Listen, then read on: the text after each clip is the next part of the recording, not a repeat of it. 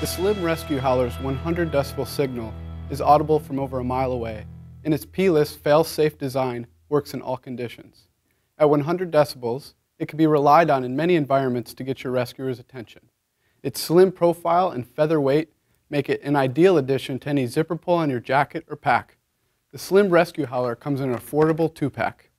And remember, the universal distress call is three consecutive blasts separated by a second of silence.